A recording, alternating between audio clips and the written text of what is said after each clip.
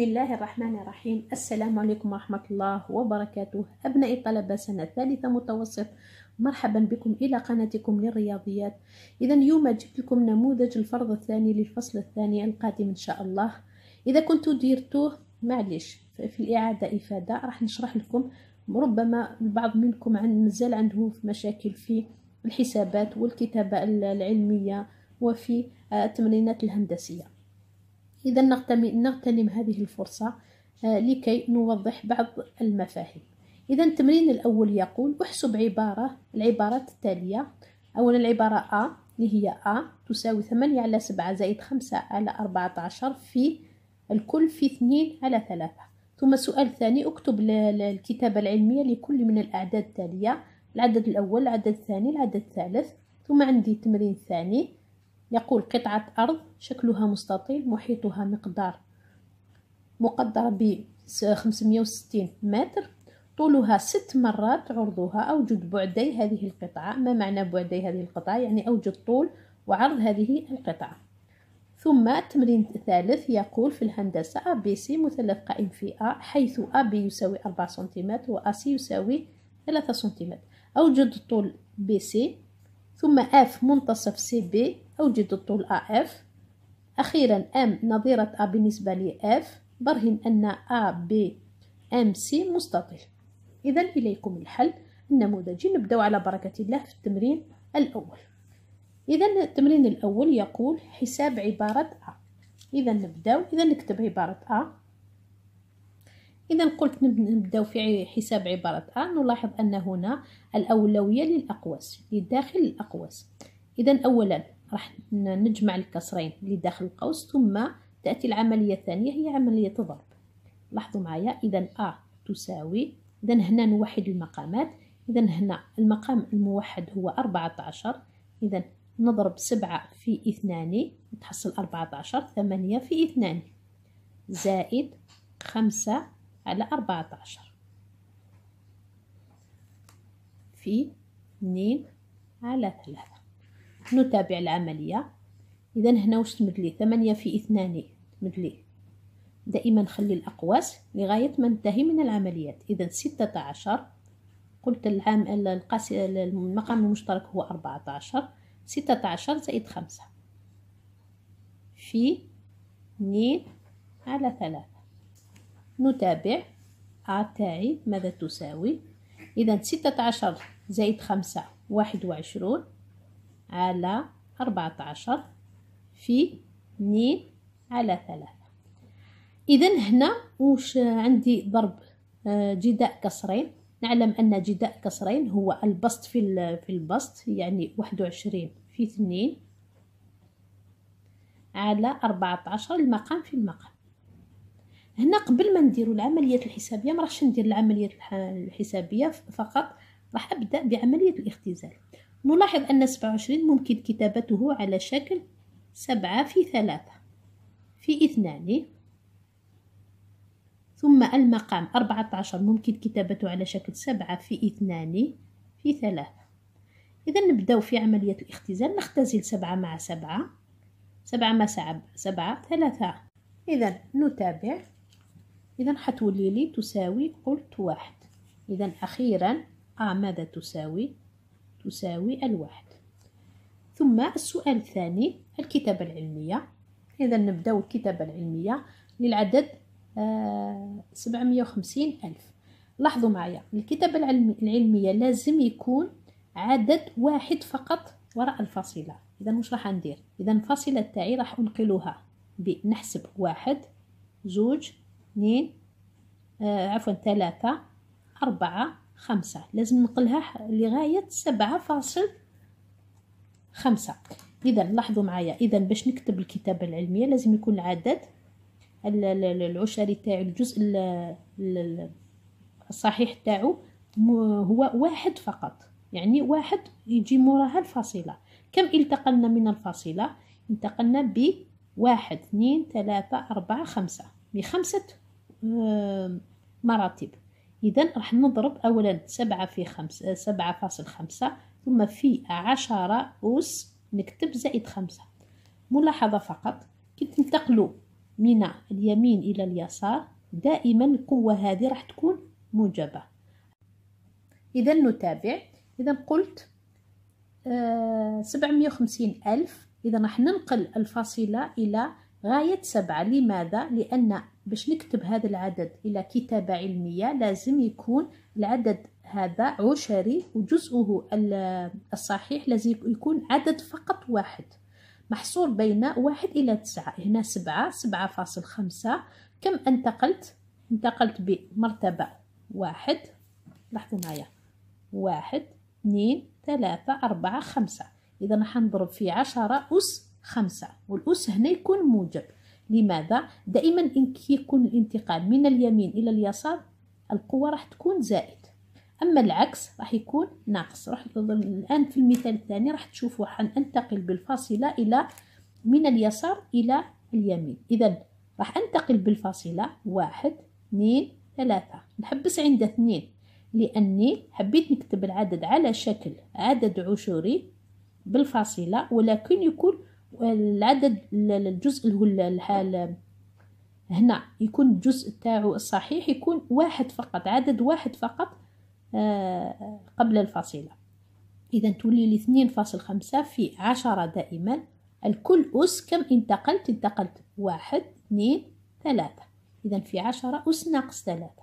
إذا قلت لكم كي تنتقلوا من اليمين من اليسار إلى اليمين تكون الأس هذه كم ملاحظة فقط؟ الأس سالبة العدد الثالث. إذا لاحظوا معايا. حنكتبه لكم. إذا لكتابة هذا العدد كتابة علمية أولا راح نبسط هذا هذا العدد. وش راح ندير؟ إذا نعزل الأعداد مع بعض. يعني سبعة نقسم سبعة على أربعة في. إذا هنا راح نجمع الأسس. إذا تولي لي عشرة أس أربعة زائد ثلاثة على عشرة أس اثنان. ثم سبعة تقسيم أربعة وش يمدلي إذا يمدلي واحد فاصل خمسة وسبعين. إذا نكتب واحد فاصل خمسة وسبعون. في الآن عشرة آه عشرة أس أربعة زائد ثلاثة سبعة. إذا في عشرة أس سبعة ناقص. إذا هذه تاع المقام راح نردها فوق لأن عندي عشرة نطبق القانون عشرة أس أ تقسيم عشرة أس ب وش تساوي لي؟ تساوي لي عشرة أس أ ناقص ب. طبق لهذا القانون إذا تولي لي عشرة أس سبعة ناقص اثنان. أخيرا عفوا العدد وش يساوي لي؟ يساوي لي واحد فاصل خمسة وسبعين في عشرة أس سبعة ناقص اثنين خمسة. وبهذا نكون قد كتبنا هذا العدد كتابة علمية. أتمنى فقط أن يكون واضح للجميع. ننتقل على بركة الله للتمرين الثاني.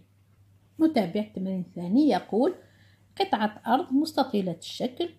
إذا محيطها يساوي 560 متر وطولها يساوي آه، آه، ست مرات عرضها. هنا راح نفرض أن انتبهوا معايا.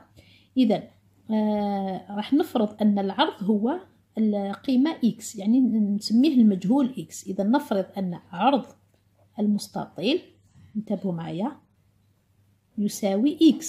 باش نديرو بدلالة الطول يساوي x المجهول x. إذا كم يساوي الآن؟ راح نسمي طول هذه القطعة المستطيلة الشكل L للطول majuscule والعرض L minuscule واللي هو x نفس الشيء. اذا طول آه المستطيل كم يساوي؟ اللي هو L majuscule يساوي قلنا أن ستة في x يعني ست مرات x اذا والمحيط اللي نسميه مثلا P إذا P كم يساوي؟ حسب القانون. محيط المستطيل كم يساوي؟ يساوي مرتين. الطول زائد العرض. إذا نطبق إذا اثنين الطول كم يساوي؟ ستة x زائد x. ويساوي كم يساوي من العرض؟ آه، محيط شحال يساوي؟ خمسمية وستين. إذا نحل هذه المعادلة من الدرجة الأولى ذات المجهول إكس. إذا نكتب خمسمية وستين تساوي اثنان في ستة إكس زائد سبعة إكس سبعة إكس.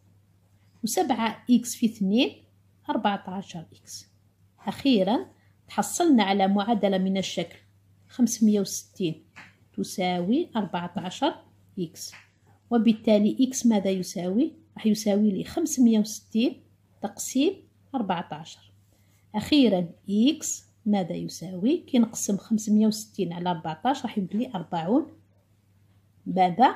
متر لأن المحيط وحدته المتر إذا إكس ما هو الإكس هو عرض المستطيل.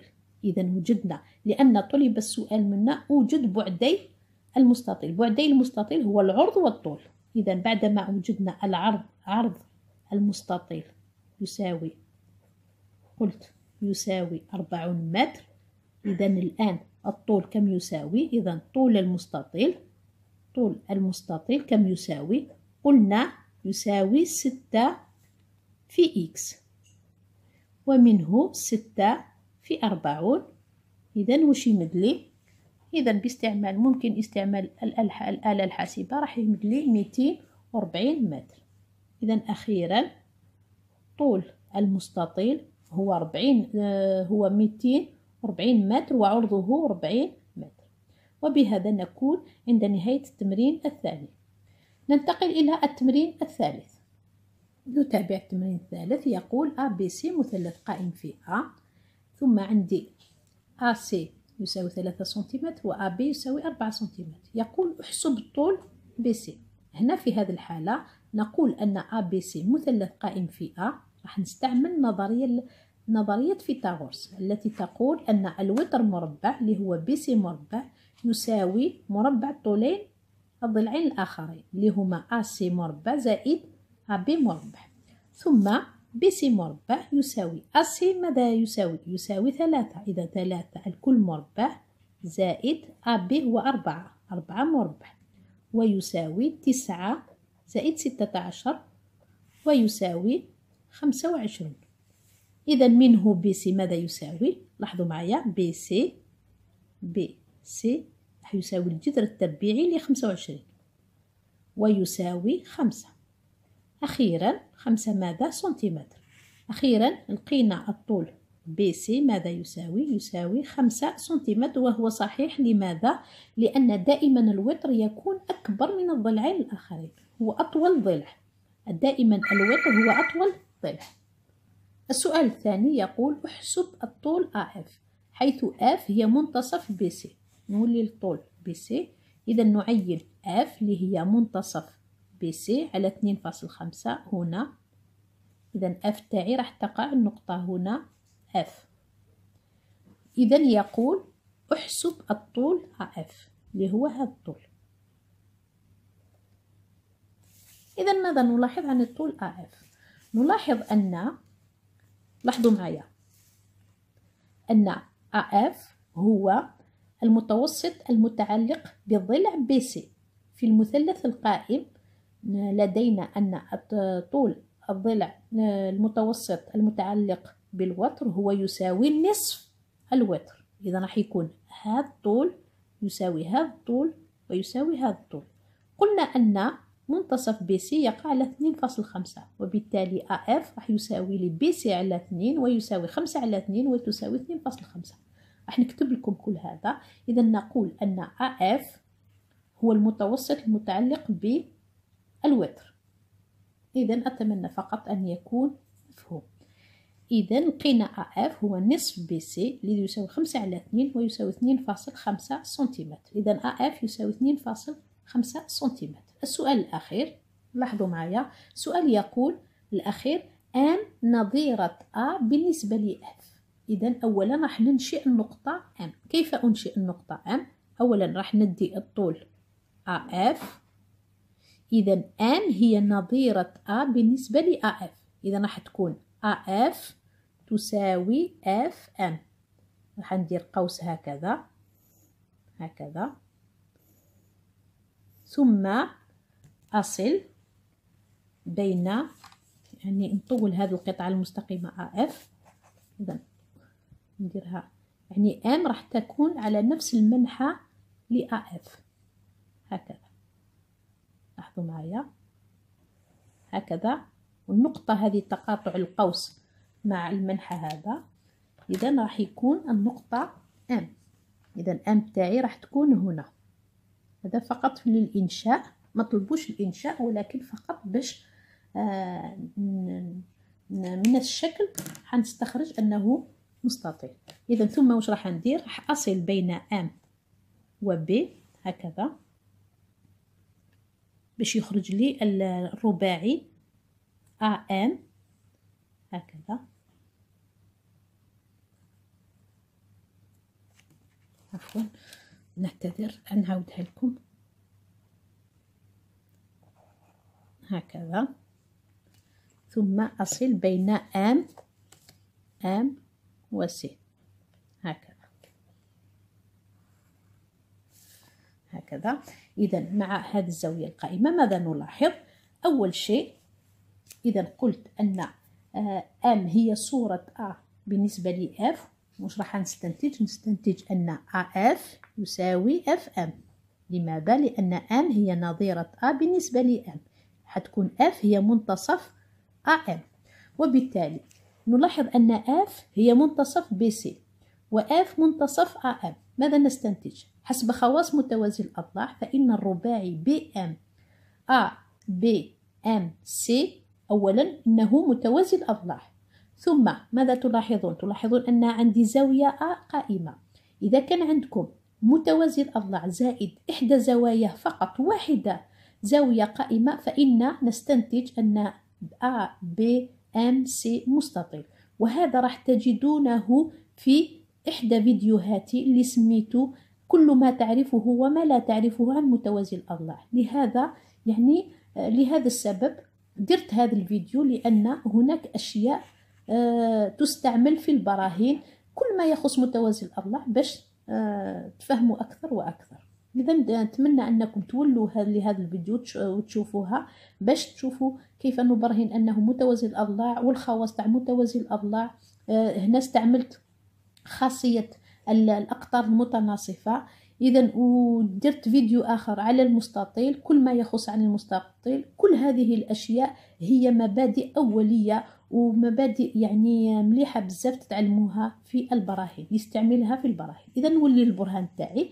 اذا نقول لدينا اذا أن اف هي منتصف. اولا الحاجة الأولى أن اف منتصف بي سي بي سي وبي سي نعلم أنه قطر الرباعي ثم اف أيضا منتصف AM لماذا؟ نكتب بين قوسين لأن AM نظيرة. النقطة A بالنسبة لF هذا الشيء الأول. إذا نلاحظ أن BC و AM قطرين. إذا القطرين الرباعي متناصفين إذا في الأخير وصلنا أن قلت أن BC و AM قطرا الرباعي ABMC فإنهما متناصفان ليس متقايسين. قلت متناصفين متناقصين. متناصفين ومتقايسين طبعا. متناصفين ومتقايسين. لاحظوا من الشكل. لاحظوا معايا. قلت أن هذا يساوي هذا ويساوي هذا ويساوي هذا. إذا نزيد على متناصفين متقايسين. متناصفين متق... إذا متناصفين ومتقايسين. وهذه أيضا من خواص ممكن نزيد متقايسين. إذا وهذه أيضا من خواص المستطيل. إذا القطران متناصفين. ممكن أن نستنتج أنهما متوازي الأضلاع. وأيضا متقايسين ممكن أن نستنتج أنه مستطيل. زائد زاوية واحدة قائمة. إذا في الأخير أ بي أم سي مستطيل. أتمنى فقط أن يكون الشرح وافي وكافي للجميع. إذا بالتوفيق للجميع وأستودعكم الله الذي لا تضيع ودائعه. والسلام عليكم ورحمة الله وبركاته.